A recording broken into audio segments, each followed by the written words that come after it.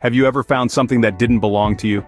Picture this. A ball is making its merry way down the road, carefree and unclaimed. Along comes a man who spots the wandering sphere, his curiosity piqued. He reaches down and picks up the ball. Has anyone lost a ball?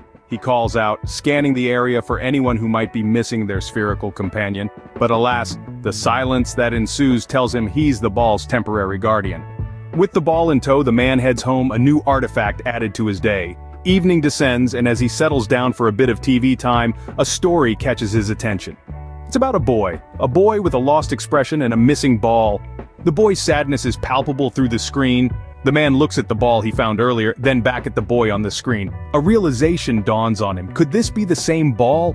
Without wasting a moment the man sets out, the ball securely tucked under his arm. He tracks down the boy and presents him with the lost ball. The transformation in the boy is immediate, his eyes light up, his lips curve into a smile, and his hands reach out to reclaim his lost treasure.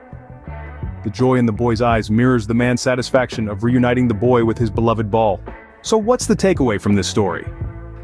The man's actions highlight the importance of empathy and kindness in our everyday lives. He found something that didn't belong to him, but instead of keeping it, he took the time and effort to return it to its rightful owner, and in doing so, he not only restored a boy's source of joy, but also experienced the incomparable pleasure of doing a good deed. In a world that often feels divided, it's these small acts of kindness that bring us together, create connections, and make our shared world a happier place.